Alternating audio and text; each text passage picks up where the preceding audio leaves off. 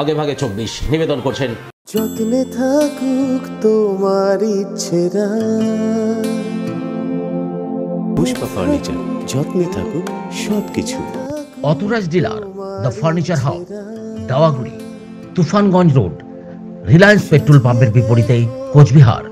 MG garment ছোট বড় ছেলে মেয়েদের সমস্ত রকম রেডিমেড পোশাকের বিপুল সম্ভার BS road hotel Yuvraj Cooch Behar. Shushma Collection, exclusive collection of curtains, RN Road near Gauri Mahal. শনিবারের পর রবিবারও দলবদলের ধারা অব্যাহত ভাটাগুড়িতে দুস্থ অফিসের চাহিদা সম্পন্ন খেলোয়াড়দের হাতে খাদ্য সামগ্রী তুলে দিল ইউনিক ফাউন্ডেশন টিম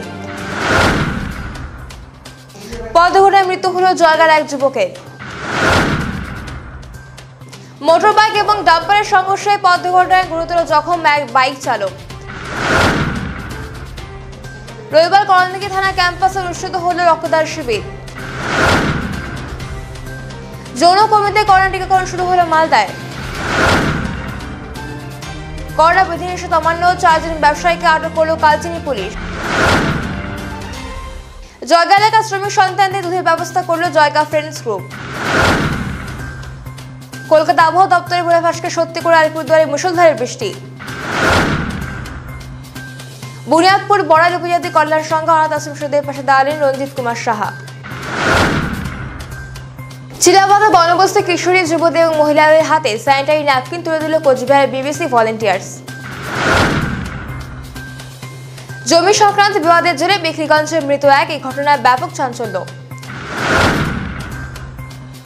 ফের ভ্যাকসিনেশন শিবিরের আয়োজন করা হলো জলপাইগুড়ি স্বেচ্ছাসেবী সংগঠন শ্রদ্ধার পক্ষ থেকে। নিশিগঞ্জ ব্যবসায়ী সমিতির পক্ষ থেকে জীবাণুমুক্ত করণ সহ বিভিন্ন উদ্যোগ গ্রহণ করা হলো রবিবার। ভবঘুরিতে পরিষ্কার পরিচ্ছন্নতা করার উদ্যোগ নিল জটেশ্বর করোনা প্রতিরোধ বাহিনী। সকাল থেকে মেঘাচ্ছন্ন আকাশ, স্বস্তিতে শিলিগুড়িবাসী। হাসপাস গরম পরে স্বস্তির আবহাওয়া রবিবার সকালে। গত কয়েকদিনের উত্তাপের পর এই আবহাওয়ায় স্বভাবতই খুশি শহরবাসী। ভারত ভুটান সীমান্তে আশি গ্রাম ব্রাউন সুগার সহ গ্রেপ্তার এক। গোপন সূত্রে পাওয়া খবরের ভিত্তিতে অভিযান চালিয়ে উদ্ধার হয় এই ব্রাউন সুগার, যার বাজার মূল্য আনুমানিক দু লক্ষ টাকা। বারোবর্ষা ভবঘুরে এবং দুস্থদের খাদ্য বিতরণ করলেন মহানুভব ব্যক্তি এবং স্বেচ্ছাসেবী সংগঠন। করোনার জেরে প্রায় দু বছর থেকে লকডাউনের মধ্যে এই কর্মসূচি চালিয়ে যাচ্ছেন তারা। প্রতিদিন রাত হলে তারা খাবার নিয়ে হাজির হয়ে যায় এলাকার ভবঘুরিদের কাছে। যশোডাঙ্গা গ্রামীণ হাসপাতালে ভ্যাকসিন নিতে লম্বা লাইন আমজনতার। পঞ্চাশ থেকে ষাট বছর বয়স্ক পুরুষ এবং মহিলাদের ভ্যাকসিন দেওয়া হবে। এই খবর চালু হতেই ভোর পাঁচটা থেকে লাইনে দাঁড়াল স্থানীয় বাসিন্দারা।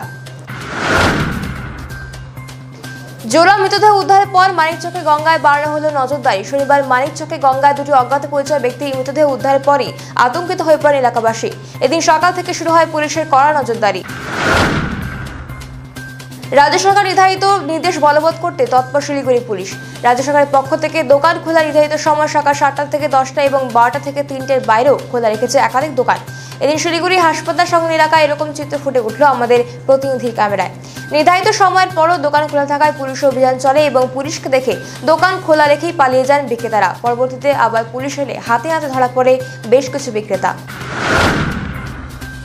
মালদায় আগ্নেয়াস্ত্র সহ গ্রেপ্তার এক। গোপন সূত্রে খবর পেয়ে মানিকচকের চণ্ডীপুর এলাকায় অভিযান চালায় মানিকচক থানা পুলিশ। অভিযানে হুমায়ুন শেখ নামে এক যুবককে গ্রেপ্তার করে পুলিশ। লকডাউন উপেক্ষা করে জলপাইগুড়ি বাজারে উপচে পড়ল ভিড়। রবিবার সকাল থেকেই বড় বড় বাজারে লক্ষ্য করা যায় উপচে পড়া ভিড়। যেখানে রাজ্য সরকার নতুন নির্দেশ জারি করেছে, দুপুর বারোটা থেকে তিনটে পর্যন্ত বাজার খোলা থাকবে। সেই নির্দেশকে বুড়ো আঙুল দেখিয়ে দিন জলপাইগুড়ি শহরের স্টেশন বাজার সকাল থেকেই খোলা ছিল। দিন বাজার, বয়েল বাজার সহ শহরের ছোটখাটো বাজারে দিন চলে পুলিশের অভিযান। রক্ত সংকট মেটাতে দক্ষিণ দিনাজপুরে জেলা পুলিশের রক্তদান শিবির। জেলা জুড়ে শুরু হওয়া রক্ত সংকট মেটাতে মানবিক উদ্যোগ দক্ষিণ দিনাজপুর জেলা পুলিশের। রবিবার দক্ষিণ দিনাজপুর জেলা পুলিশের উদ্যোগে দক্ষিণে জেলা পুলিশ সুপার অফিসে সূচিত হয় রক্তদান শিবির।